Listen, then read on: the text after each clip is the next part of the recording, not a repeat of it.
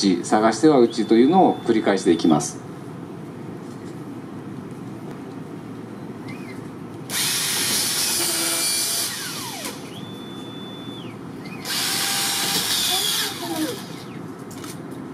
はいもうキャリーがそろそろ、えー、仮打ちを終えて自分の自分の任務を終えようとしてきています。あともう一つ打ったら終わりということになってきます。ただショットは延々とまだ残ったところのビスを打ち続けていきます。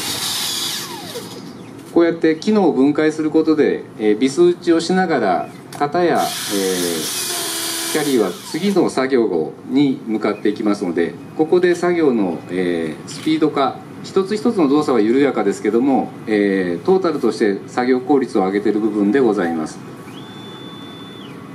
今、えー、作業を終えたキャリーが終えてタブレット持つ作業者から次の作業に行くよというとこで指示を出しています。